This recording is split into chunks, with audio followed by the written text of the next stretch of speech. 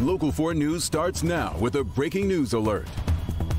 Good afternoon, everybody. I'm Karen Drew. First at 4, we're learning more about a stunning discovery. A woman and her two children found frozen to death in a wooded area in Pontiac. The Oakland County Sheriff just gave us some new information during a news conference. Rod Maloney was there. He joins us now live with the very latest. Rod, what have you found out about this case? Well, what we know is that in this batch of woods behind us here, the old lakeside housing project here in Pontiac is where the three bodies were found. A mother, 35 year old uh, Monica Kennedy, her son Malik, and also her other son, um, uh, you'll forgive me, I've forgotten his name, but anyway, at this point, the three of them were found dead of hypothermia. It was Malik, by the way, Malik Milton, uh, were found dead of hypothermia in a field just beyond these trees over here, over by Crystal Lake. Now, we're going to show you some video from earlier in the day, and what we know now is that this was born out of a mental health crisis. The father of these two young children and the husband of the woman who died was murdered in 2021, and it would appear that the the uh, situation was so difficult for her that she began to have uh, notions of uh, people out to get her. At least that's what the sheriff had to say here today. And so let's hear from Sheriff Mike Bouchard and also one of the neighbors who talks about the fact that his neighbors have been talking to him having met this woman and their children over the weekend. The um, woman, the mom, was having a mental health crisis. She believed someone was trying to kill her and that everybody was in on it. It was a conspiracy, so including the police. Uh, we're in on this, trying to kill her. Uh, family members attempted to get her help, but she refused. Oh, it's terrible.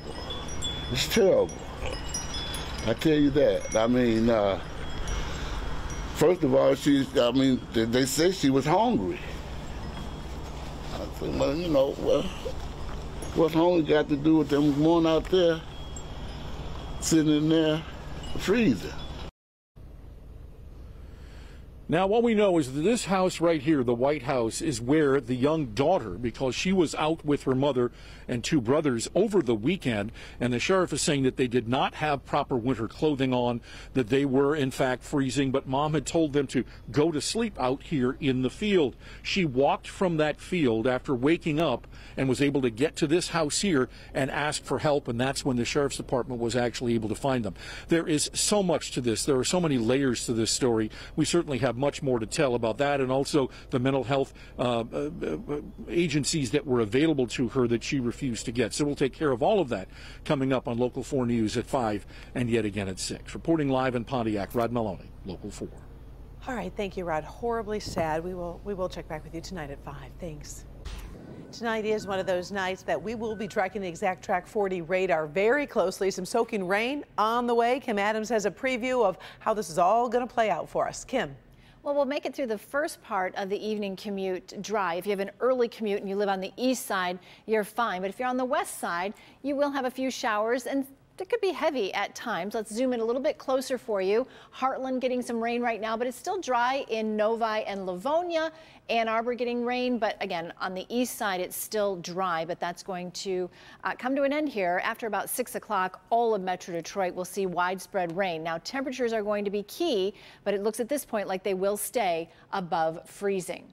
So let's talk about those temperatures right now. 37 in Pontiac, also in Mount Clemens, 41 City Airport, upper 30s at Metro. We'll watch the temps very closely, but we do not expect them to drop below freezing. As you can see, the temperature trend, we're going to be very warm this week before we cool down briefly over the weekend, but it's definitely a mild trend. I'll have your forecast coming up.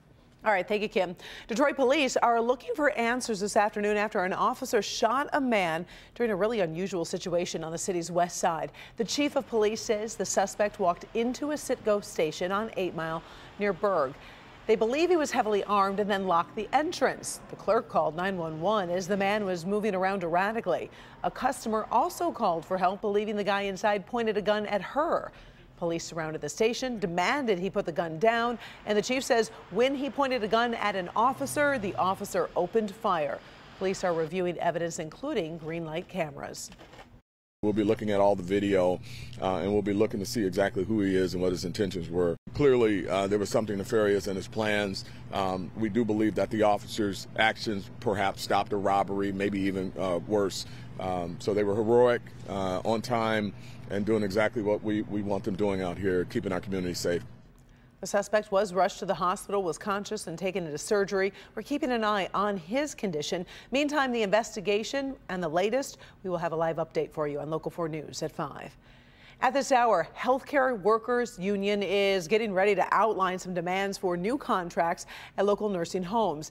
SEIU Healthcare Michigan has scheduled a news conference. It's going to happen in just a few minutes.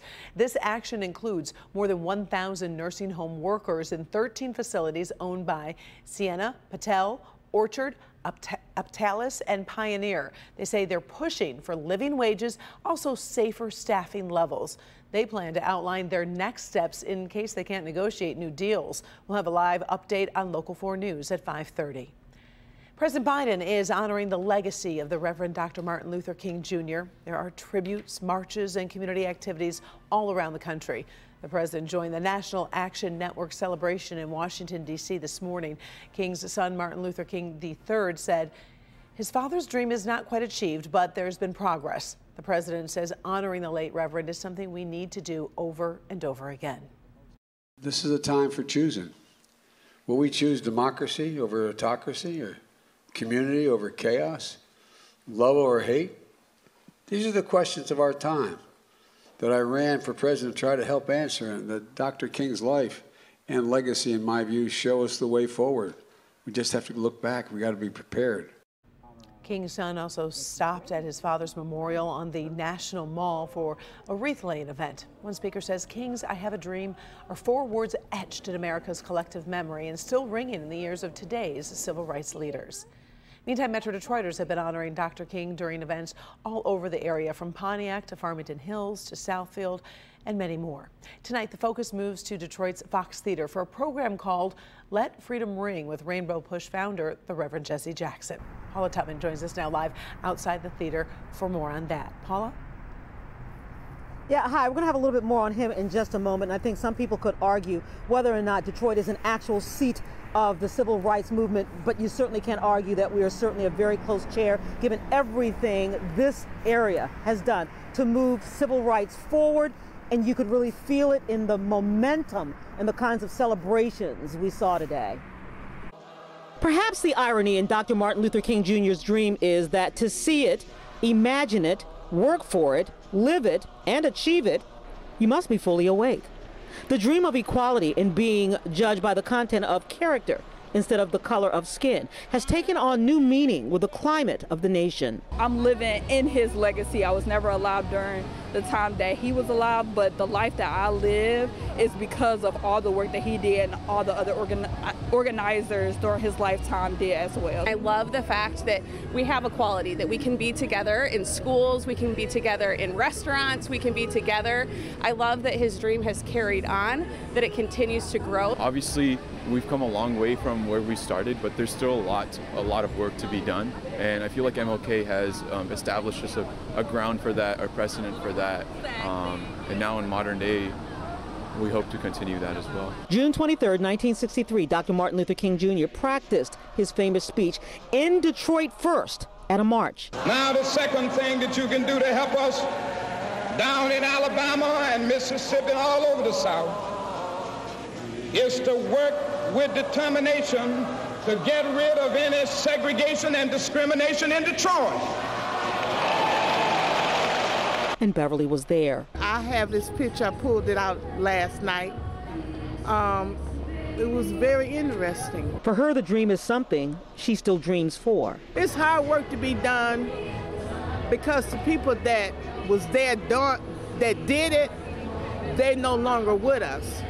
So I'm hoping that someone pick up the pieces and keep keep it moving. At Dawson Elementary and Middle School in Detroit, a day of activities for children and their adults, including honoring Judge Kyra Harris Bolden, Michigan's first black female to sit on the state's highest court. And a mural unveiled in her honor also honors the dream of Dr. King. Being the first black woman to sit on the Michigan Supreme Court, I think, is an awesome achievement but it has taken until 2023 for us to get to that point. So we are moving forward, uh, but there clearly is much more work to be done. And I think that this is a wonderful day that exemplifies that, celebrating the life and legacy of Dr. Martin Luther King Jr. I'm just so honored to be here and to be alongside our first black woman on the United States Supreme Court. I think that everyone brings a perspective and a lived experience with them when they're interpreting the law. And I think that's why representation is so important. Having someone that has a similar lived experience and perception of life uh, really makes a difference when you're interpreting the laws in the state of Michigan. Yeah, so we also mentioned earlier, Karen did, the MLK celebration at the Fox Theater. Jesse Jackson, Reverend Jesse Jackson, pardon me, is hosting it. Not in great health, everybody not in great shape, but still gracious enough to sit down one on one and talk to me about where the dream is and where it's going. But also, Kem, Billboard artist, Grammy winner, uh, musician. Fascinating conversation with him, talking about how, but not for uh, Dr. King, he couldn't even eat at the places he performs. And we'll have that part of the story coming up at 6. Fascinating perspective. Fascinating, Karen. Look forward to those reports. Thanks so much, Paula. We do appreciate it.